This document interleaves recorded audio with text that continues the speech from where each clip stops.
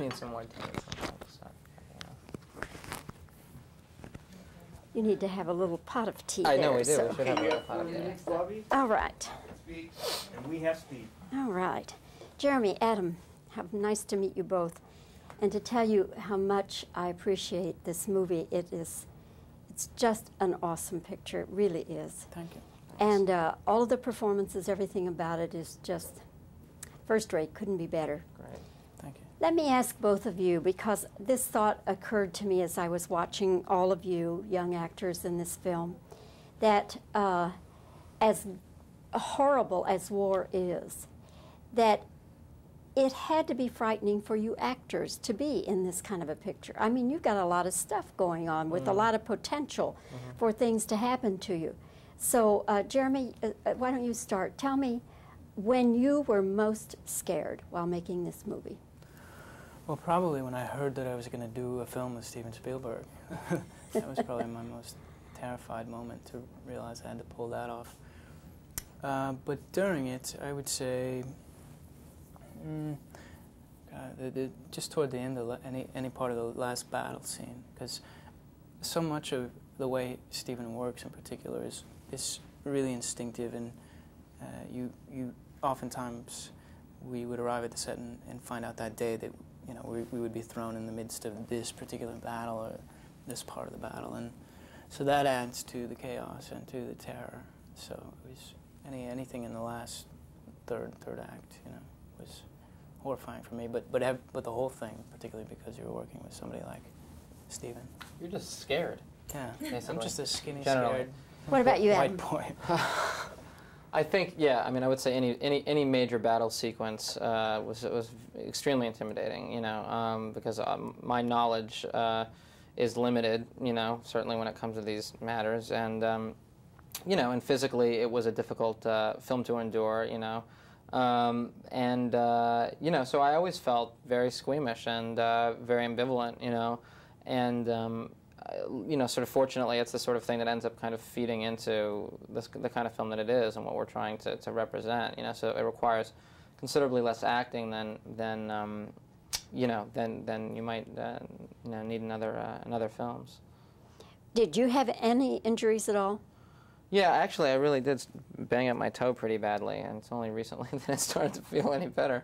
That's because I procrastinated going to the podiatrist because it's embarrassing to go to a podiatrist. But um, I, uh, I was running towards the end of the, of the film, um, something that was cut from the film actually, uh, right. Uh, and um, I hit some sort of little kind of wall, and uh, I flew about 15 feet. And uh, you know got up kept running ran into the foxhole you know and i was furious and in so much pain you know and i don't know what i expected like they'd say cut and adam are you okay? And um, instead i hear this brilliant um, and you know steven couldn't have been happier and yeah it did look quite authentic because it was um, but uh, beyond that i didn't uh, i didn't get uh, injured but it did leave certainly a lot of residual kind of you know psychological you know strangeness, you know, being around all of that stuff all the time, you know. What about you, Jeremy? Did I get injured? Mm-hmm. This isn't real. I did actually. Um, aside from having lost like 20 pounds, you know, that I don't, I can't afford to lose. Um, I was carrying around a lot of strings of, of bullets. Steven wanted that sort of. He liked the aesthetic of like a necklace, sort of me running around because you know that's what they need at the end of the film. And because I was running around and because I'm not a very strong young man, and I was leaning over a lot, uh, it pulled, pinched a nerve in my neck. Did it really? yeah, yeah. I was going to this this uh, famous kind of a lame sports doctor in, in injury. It is. It's really pathetic You could have taken a little shrapnel in the leg, you know? so I had to go to this doctor and have him like crack my neck, and um, I'm just fine. Well, again, magnificent picture. Uh, if I were an actor, I've always said I'd rather interview an actor than be one, but if I were an actor, I would be so proud to be in this movie. Thank, Thank you, you very much. Thank you both. Absolutely. Thank, you very much. Thank you. Nice to meet you. Thanks for your time. Thanks, Bob.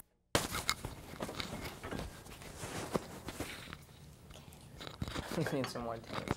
So, yeah.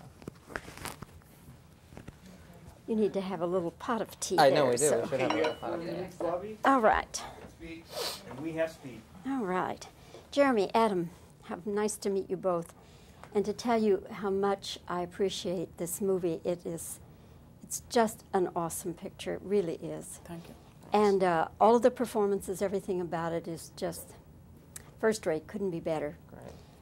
Great. Thank you. Let me ask both of you because this thought occurred to me as I was watching all of you young actors in this film that uh, as horrible as war is, that it had to be frightening for you actors to be in this kind of a picture. I mean, you've got a lot of stuff going on with a lot of potential for things to happen to you.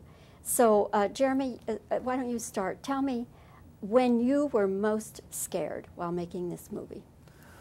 Well, probably when I heard that I was going to do a film with Steven Spielberg. that was probably my most terrified moment to realize I had to pull that off. Uh, but during it, I would say, mm, uh, the, the, just toward the end of any any part of the last battle scene, because so much of the way Steven works, in particular, is is really instinctive, and uh, you you oftentimes we would arrive at the set and, and find out that day that you know we, we would be thrown in the midst of this particular battle or this part of the battle, and so that adds to the chaos and to the terror. So it was any anything in the last third third act, you know, was horrifying for me. But but have, but the whole thing, particularly because you were working with somebody like Steven. You're just scared. Yeah, I'm just a skinny, Generally. scared What about you, white boy.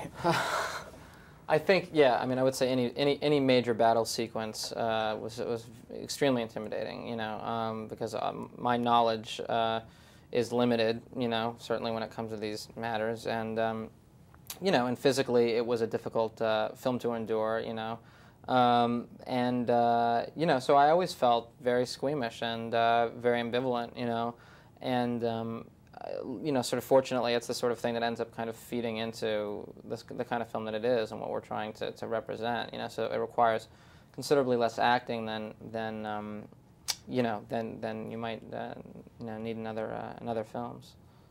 Did you have any injuries at all?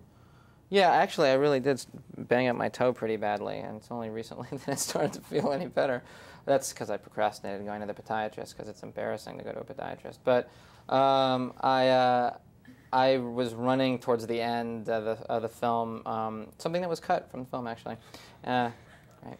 Uh, and um, I hit some sort of little kind of wall, and uh, I flew about 15 feet and uh, you know got up kept running ran into the foxhole you know and i was furious and in so much pain you know and i don't know what i expected like they'd say cut and adam are you okay? And um, instead i hear this brilliant! Um, and you know steven couldn't have been happier. And yeah it did look quite authentic because it was. Um, but uh, beyond that i didn't uh, i didn't get uh, injured. But it did leave certainly a lot of residual kind of you know psychological you know strangeness, you know, being around all of that stuff all the time, you know. What about you, Jeremy? Did I get injured? This isn't real. I did actually. Um, aside from having lost like 20 pounds, you know, that I don't, I can't afford to lose. Um, I was carrying around a lot of strings of, of bullets.